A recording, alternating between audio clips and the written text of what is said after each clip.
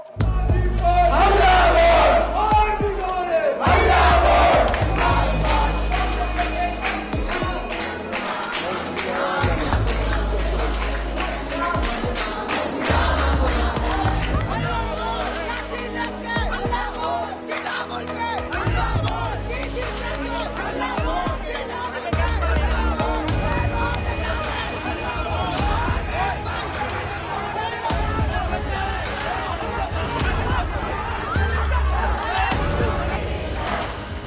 police has uh, hit.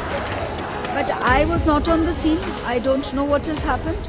All I can say is that if it happened and it was an accident, then both sides have to be compromise, uh, compromising on this. But if it, police did do anything deliberately, we have to see why they did it. So I will take the matter and go up to the highest authority to find out why, if the police did anything.